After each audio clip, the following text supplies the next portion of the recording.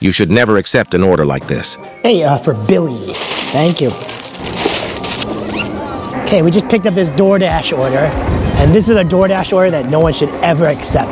It's only paying $2, that means no tip, and it's not going that close actually, but it is going back towards my house, and we're in the mid-afternoon, and I'm just heading home. So I'm only grabbing this order just because it's literally on my way home. But I would say this order is an insult to anyone and no one should ever take this order really. The customer at least had the decency to make it a leave at door order.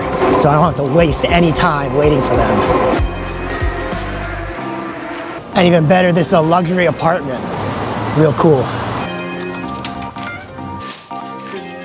All right, there we go. $2, no tip order, to a luxury apartment. Don't accept an order like this unless you have a good reason to do it.